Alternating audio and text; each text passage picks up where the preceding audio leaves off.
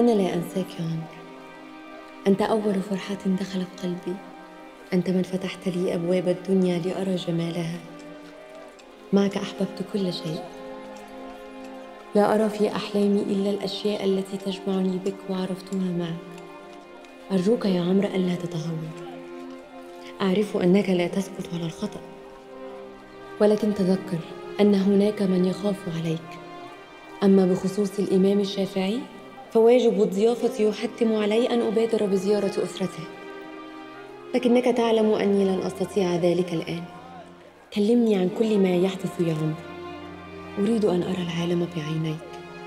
أنا في حاجة إلى أن أعرف كل شيء عبر كلماتك. أنا في الانتظار يا عمرو.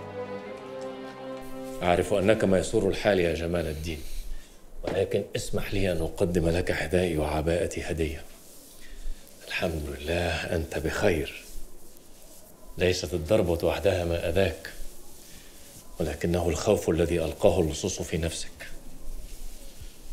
صحيح أنك وصلت إلي بعد أن فعلوا بي ما فعلوا وبعد أن سرقوا كل ما معي حتى عباءتي وحذائي. لكن الله عز وجل شاء أن يرسلك إلي لتنقذ حياتي. إنها مشيئة الله وما نحن إلا أسباب. ونعم بالله. ولكن ما الذي يجري يا إمام؟ لم يعد هناك أمان حتى للخروج إلى الصلاة؟ ما كل هذا؟ سنرى في الأيام القادمة ما هو أسوأ.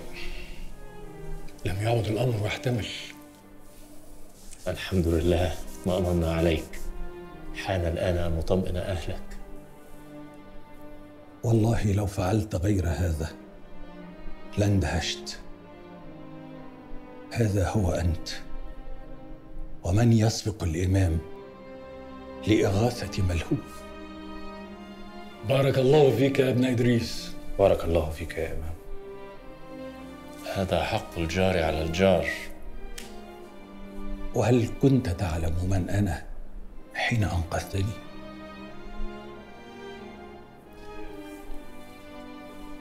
اشرب. دائما تشربه ساخنا.